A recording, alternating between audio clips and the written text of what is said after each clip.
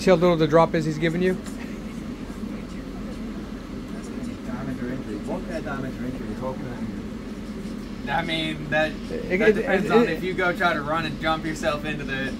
Uh, Oh, right. It's, it's in case your butthole So blows out. It's not gonna like kill my heart or anything. Right. Okay, that's fine.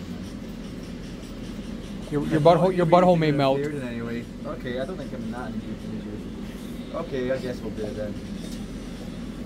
I mean, obviously, if you have What's the date adverse today? health, uh, today's the sixth. Sixth. If you have any adverse health issues, then trying really hot sauce is probably not good for you. But if you're a perfectly healthy person, it ain't gonna bother you. Okay. You see how little the drop is though.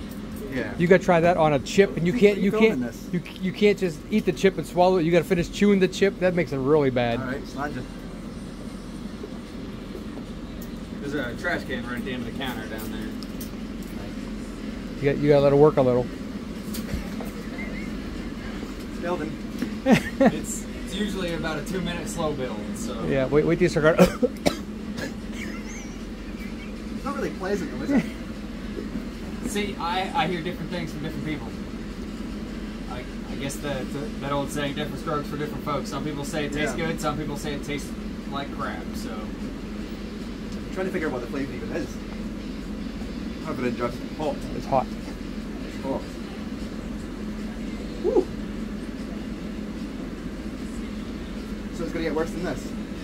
Yeah. it, it hits its peak at about two minutes, and then, Okay. Then, then about five minutes it's gone. It'll either settle out, or and then you'll hit another peak tomorrow when you have to let it out. Nice one. I'm gonna go and suffer with the family then. Alrighty, Thank you, have a great day. Thank you.